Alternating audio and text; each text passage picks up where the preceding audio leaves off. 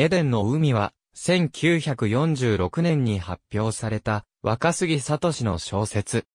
3度にわたり、映画化され、テレビドラマ化もされている。瀬戸内の小さな高校に、東京から赴任してきた、新任の教師と、自由奔放な女子生徒の交流を描く。1950年公開。制作は松竹。当時としては大変大胆な性描写がある映画で、その後の大英などの晴天物の走りになったとされる。劇場公開後に上映フィルムが長らく行方不明となっていたが、広島県竹原市の忠野海町コミュニティ作り、推進協議会が1997年に廃棄されるはずだったフィルムを保管していることが判明し、2013年に松竹が劣化部分を修復してデジタル化した。同2013年10月に衛星劇場にて TV 初放映される。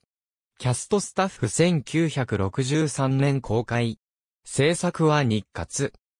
監督の西川勝美は前作の1950年版で助監督を務めており、ロケ班も担当していた。そのため、前作の撮影場所をよく覚えていて、本作も同地域でロケ班を行ったが、竹原市出身の池田隼人が総理大臣になったことで、道路整備が進み、周囲の風景が様変わりしていた。学校の窓から海が見えるような場所を近くで探したものの、イメージに合う場所が見つからず、原作では広島だった舞台を香川県高松市と一部徳島県に変え、ロケが行われた。さらに、後年に、世界の中心で愛を叫ぶで話題となった味町も登場する。夏の暑い時期に約1ヶ月のロケが行われた。キャストスタッフ監督の西川勝美と脚本の馬場あたりは共に1963年版でも監督と脚本を担当している。また本作に出演している三崎千恵子も1963年版に別役で出演している。山口桃江文芸シリーズ第4弾で、共演は南條豊。山口の主演映画では、三浦智和以外の俳優が相手役になった唯一の作品である。山口のクラスメート役をオーディションで40人選び、さらにその中から山口をいじめる重要な脇役の4人、選んでいる。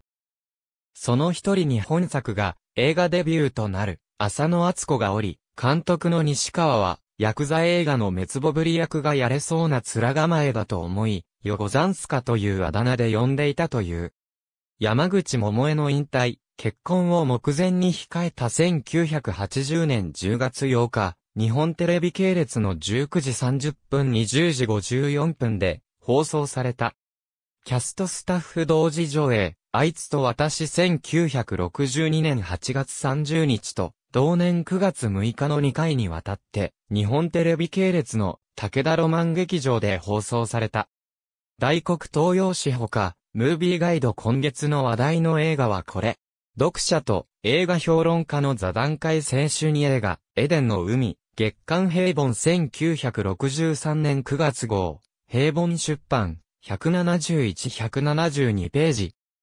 中村昇監督、エデンの海幻のフィルム見つかるスポニチ、ABCD 西川勝美、権藤進。む、西川勝美映画修行、ワイズ出版、1993年、273から277ページ。